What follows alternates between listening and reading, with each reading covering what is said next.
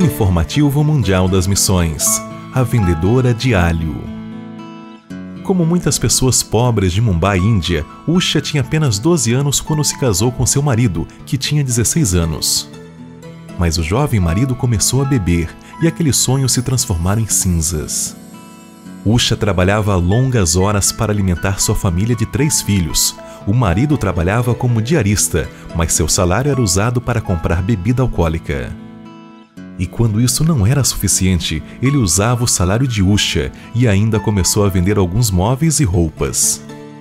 Usha complementava seu salário catando jornais velhos, metal e plástico para vender. Sua vida se transformou em desespero e desesperança.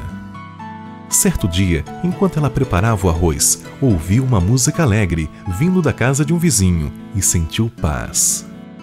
No dia seguinte, ela ouviu a música de novo e quis saber o que estava acontecendo, mas ela era muito tímida para ir à casa de seu vizinho para ver.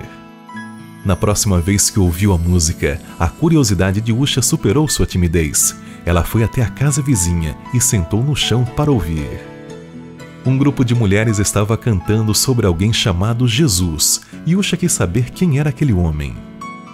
Quando a música terminou, um pastor da igreja adventista se levantou para falar e Usha sentiu paz ao ouvi-lo. Ela voltou nos dias seguintes para ouvir mais sobre Jesus, encontrou esperança e fé em meio ao desespero de sua vida e, com o tempo, aceitou Jesus como seu redentor.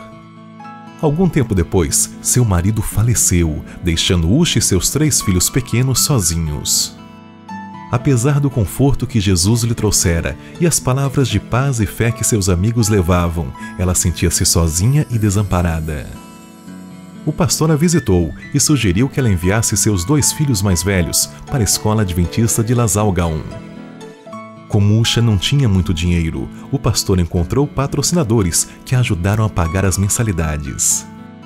Ela sente falta dos filhos que estão longe, mas está feliz porque eles estão se preparando para servir a Deus e ter uma vida melhor, como ela sempre sonhou.